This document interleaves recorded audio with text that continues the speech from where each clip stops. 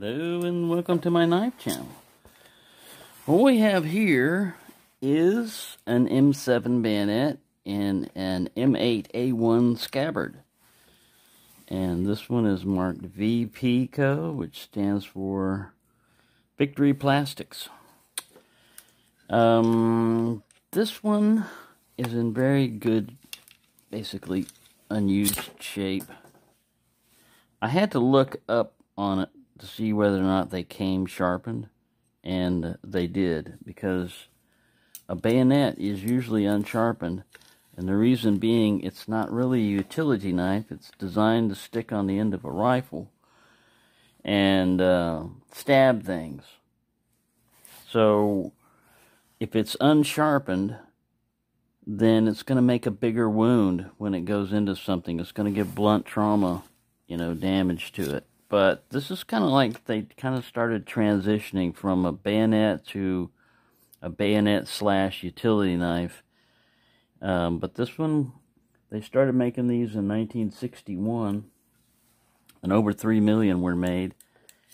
And on a lot of people see it and they look at it and they look at the markings and they go, oh, it's an M8A1 bayonet. No, this is the scabbard. And the A1 is because the original one didn't have a metal tongue down here, and when they parachuted out, they wound up getting bayoneted by their own bayonet sometimes, so they modified that. But this particular type of sheath has been made since, I believe, 1944.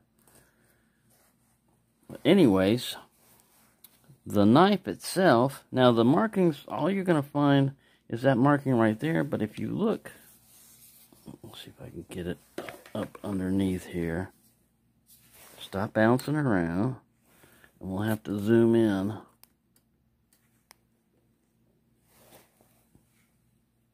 Oh, it's on this side.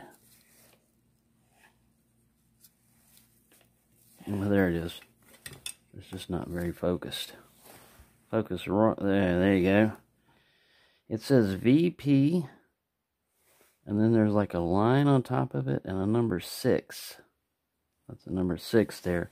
I don't think that's the year of manufacture or anything. I just really don't know what that number stands for because I've seen in other pictures they would show a, six, a 1960s, you know, like 68 model bayonet and it would have that scabbard on it and it said VP and then it had a 9 on, you know, under it. So anyway, um, the story on this one is I got this one in the mid 1980s once I got out of the service.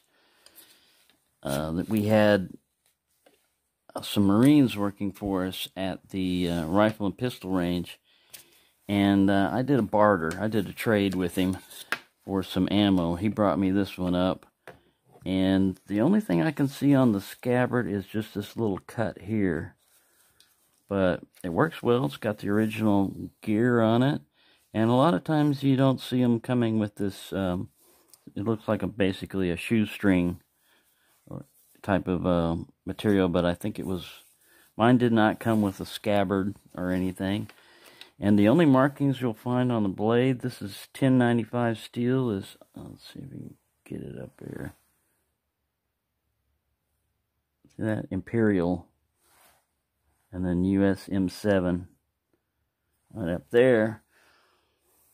It's uh, sharpened along the length here. It's 1095 carbon steel, and then it's sharpened on this.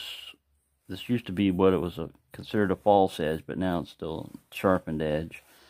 And the purpose for a bayonet was originally it was a, a piece of metal you stuck in the end of your barrel after you fired and allowed you to turn your rifle into a spear. And then they started discovering that, hey, if we put a little ring on there, we can fire through it.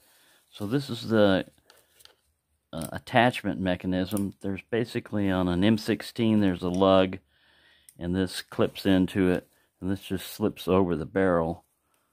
And uh, this is what really holds it in place. This just kind of like helps balance it. If the knife is put like this, where you grab it, you can just put your thumb through the thing to start it out. uh, but it'll go in on either side on the bayonet. And uh, this is hard plastic, kind of like Bakelite or something, really hard and fairly grippy type of plastic. It's a thin blade there. And uh, let's see, its uh, national stock number is 1095-00-017-9701. The manufacturers were Bauer Ordnance Company. A lot of times it'll be marked BOC on the um, guard up there. Carl Eickhorn for Colt. And then Colt, uh, also the one that manufactured the M16. Ontario Knife Company made them. Columbus Milpar, Conetta Manufacturing, Frazer Manufacturing, and General Cutlery, plus Imperial Knife. It's 11.75 inches long overall, 29.8 centimeters. Blade length is 6.75 inches, or 17.1 centimeters. It's made out of 1095 carbon steel, 3 sixteenths of an inch blade. The scabbard can either be an M8, an M8A1, or an M10. And um, the weight is 9.6 ounces. It's similar to the older M4 that was used on the M1 carbine. And uh, it's similar to the M14 bayonet, except that the the M7, I mean the M, the one that was used on the M14 has a, a little bar. It attaches differently for its locking lugs, but anyways, it's a pretty good knife. I've never, um, it'll also fit on a Mossberg 590 uh, A1 type of shotgun. I'll probably include some pictures of the uh, M16 that I had with this particular bayonet on the end of it. And uh, yeah, they're they're all right. They're they're fairly well balanced in the hand and everything. They make a, a halfway decent, um, I guess, self defense tool if you had to have one. You know, just lying there. But they're really more designed for being stuck on the end of a rifle and poking that's their main thing. You know that it's pretty tough, tough steel, and it comes with a parkerizing on it. And these covers here can be removed. I don't think I've removed them anytime recently. Uh, there's always just like a little gap right there on it. But uh, yeah, this one's the only scrapes it's got on is from going in and out of the scabbard and it still has most of its parkerizing on it. A little bit of rust there I need to take care of. Um, yeah, but other than that, the scabbard, it looks like it was, it had been used, you know, carried quite a bit. But yeah, there you go.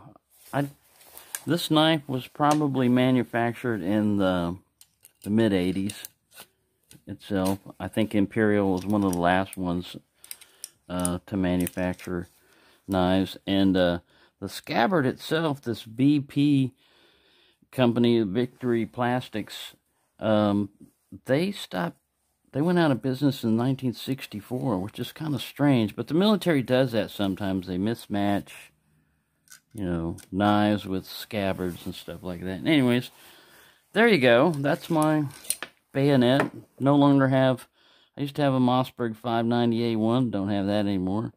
And uh, M16 with three different upper receivers. Don't have that anymore either. But this still works as a bayonet. Fits pretty well in the hand.